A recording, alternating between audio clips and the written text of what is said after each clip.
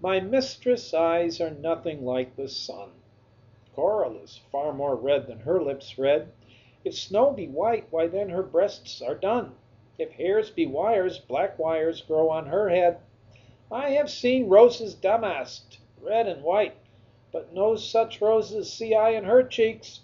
And in some perfumes is there more delight Than in the breath that from my mistress reeks. I love to hear her speak. It will, I know, that music hath a far more pleasing sound. I grant I never saw a goddess go. My mistress, when she walks, treads on the ground. And yet, by heaven, I think my love is rare, As any she belie with false compare. Hello, this is Edward Nilges. In Sonnet 130, Shakespeare satirizes the medieval and Renaissance conventions of courtly love. In those conventions, the idealized lady love is compared to the sun and moon and seven stars in elaborate simile, metaphor, and allegory.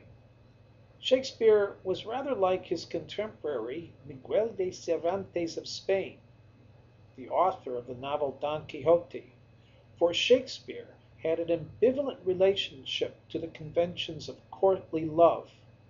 He, and perhaps Cervantes also, found them useful, beautiful, noble, ennobling, and terribly amusing at the same time. Shakespeare, in a quite frightening scene in his early hit play Richard III, has a vicious gangster use these courtly conventions to banter with the naive Lady Anne, seducing her, having killed her husband and her father in law.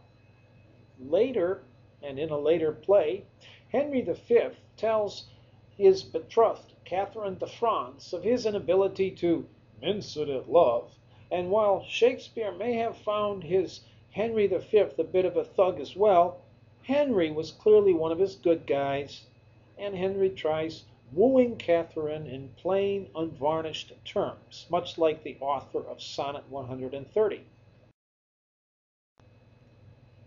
Sonnet 130 is self-reflexive in the manner of greatness, like Bach's Art of Fugue and Beethoven's last piano sonatas.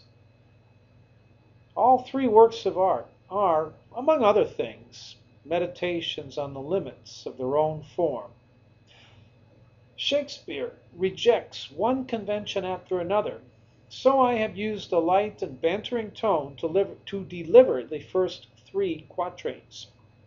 In the last couplet of the sonnet, having quite possibly infuriated the lady hearing the sonnet for the first time, possibly in the same way Catherine de France should react on stage with a frown when Henry tells her he won't die for love.